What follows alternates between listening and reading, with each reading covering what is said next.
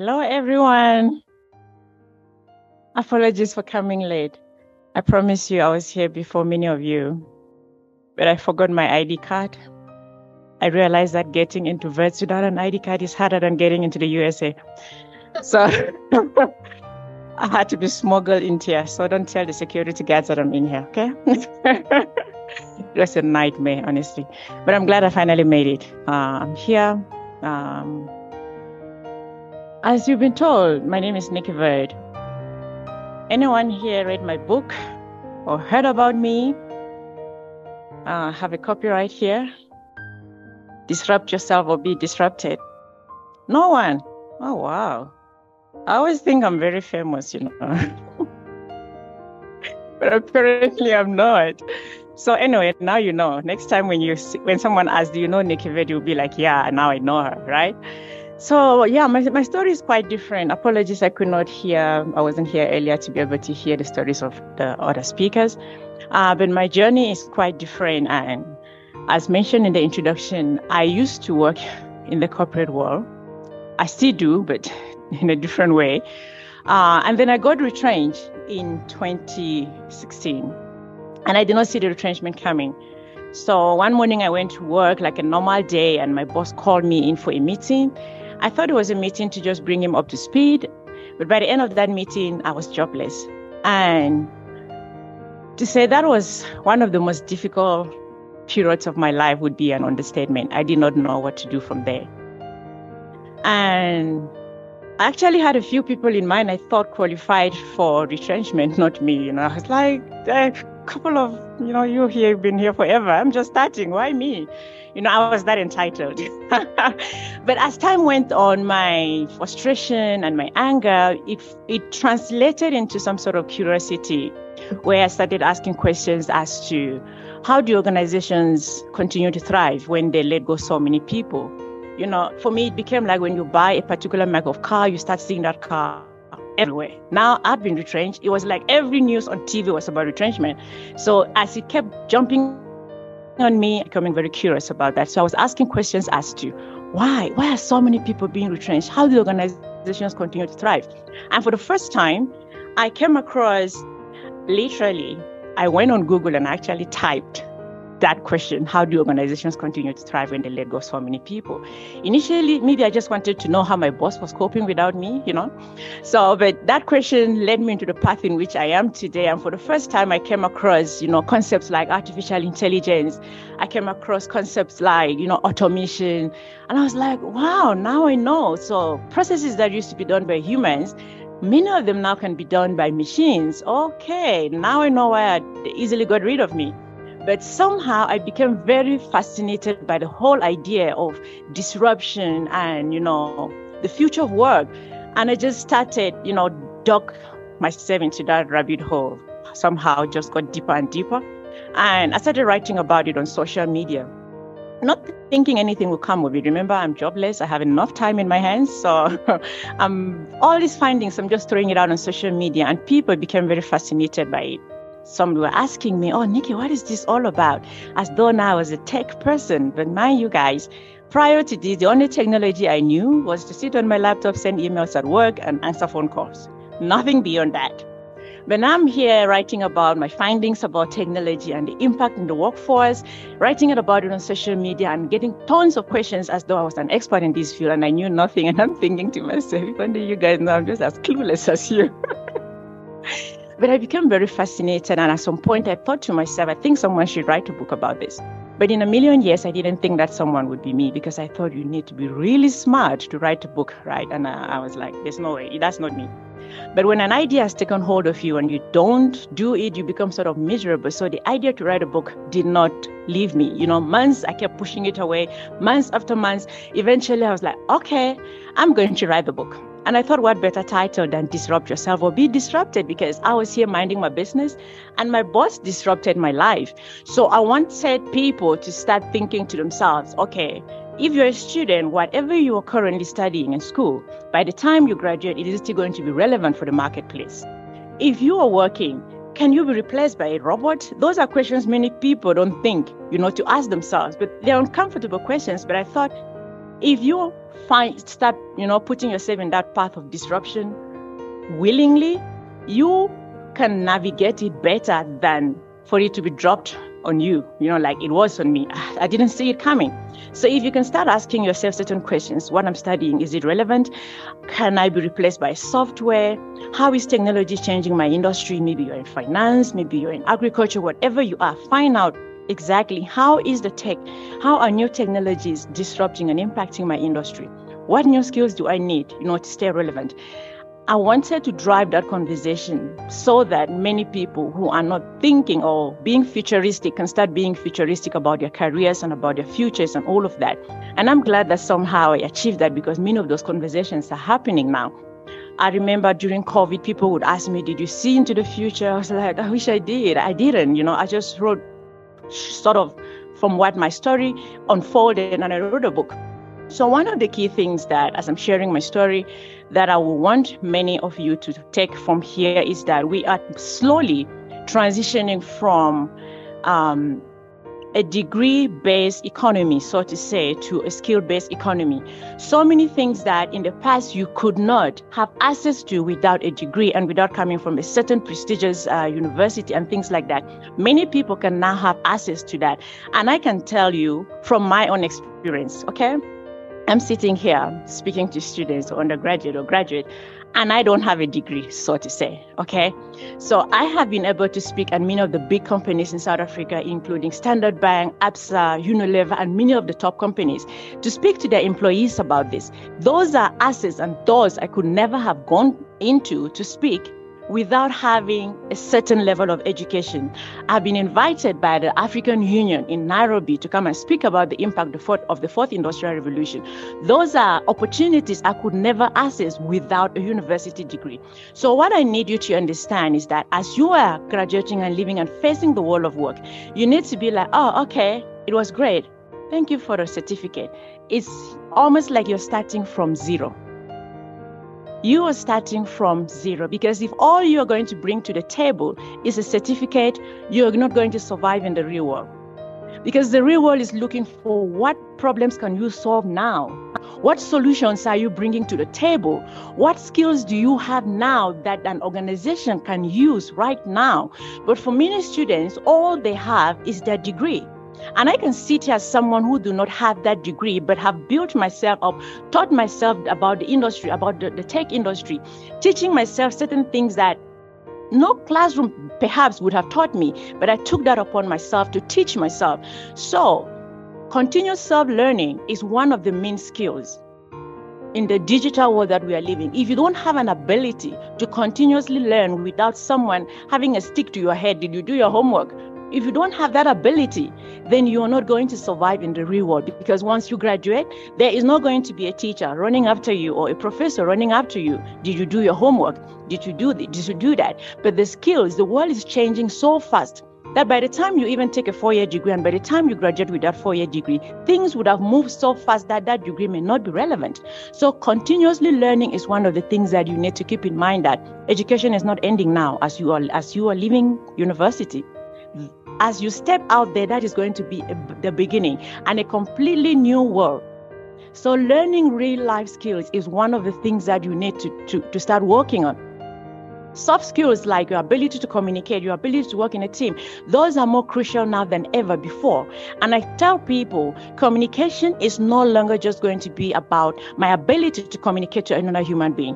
It's no longer just going to be about your ability to communicate with another human beings, but your ability to communicate with AI systems as well. Anyone here explore ChatGPT so far? Or any of the generative AI softwares? If you are so bad in communication with people, that is just as bad as you're going to be with generative AI. And that's just how you're going to get horrible results out of it. So communication is moving beyond your ability to communicate with a human being, but also with your ability to communicate with AI systems. Are we understanding? So those are some of the thing, key things that you need to keep in mind. And also, there are a lot of people worried about um, AI stealing jobs and AI replacing people at work. I remember one of my talks at, uh, with the um, team at, at ABSA, I was telling the team that, listen, you're, you're worrying about the wrong thing. Stop worrying about whether AI will replace your work or all of this, but worry about your colleague who is understanding how to interact with these software systems, who is learning generative AI, who is learning how they can 10x their productivity using generative AI. Worry about that your colleague who is using all of these platforms and learning all of these skills. That is the person who is going to replace you at work, not AI. So if you are able to learn all of these new things that are arising, you're going to be able to do the work of 10 people, you alone think about that. You 10 extra productivity when you partner with artificial intelligence. So many people who are worried about artificial intelligence are worrying about the wrong thing. Worry about your ability to partner or to, you know, collaborate with this system. If you are able to collaborate with AI, there's nothing that can replace you. AI will only replace lazy people. AI will not replace thinkers. AI will not replace creative people. AI will not re- replace continuous learners because con- AI need partnership with human beings. AI on its own cannot work. So if you are able to find that problem within an organization or within your own life and solve and sell and sell the solution, then there is no way you'll be replaced. There's no way you're going to become obsolete. So these are some of the things that you need to keep in mind as you're getting out there into the world of work. So many people are worried about the wrong thing. You know, and one of the things as you're getting out there, do not just present your CV that, oh, here's my CV. I just graduated. I'm still fresh from university. Employ me. No. Whoever you are targeting to work for whatever organizations you're targeting to work for, come with solutions. Look for whoever you want to work for. Find out what are the problems within this organization and present solutions. Try to network, find out who within this company you can network with, and offer a solution. I found one, two, three. I've been following your your your your business online or whatever, and I found this solution. I thought maybe you could you could take a look at this. Don't just present your CV, present a solution. Networking is different. A lot of people are just doing DM me, me, me, me. Can you do this for me? Can you do that for me? Can you look at how you can offer value to someone? So do not just apply, uh, uh, approach organizations the traditional way. Approach it with some sort of solutions. Do your research, do your homework. Where can you add value? What can you do differently? Those are some of the things that I want you to keep in mind. All right. So the next point that I want you to keep in mind is that your personal brand is important. When we talk of personal branding, people start thinking of big influencers, right? And TikTok dancers and all of that. No. Even as an employee, your personal brand is important. And is there anyone in this room who is not on social media? Facebook, TikTok, Instagram, LinkedIn? Anybody here who is not? Oh, you, you're not on any of the social media platforms.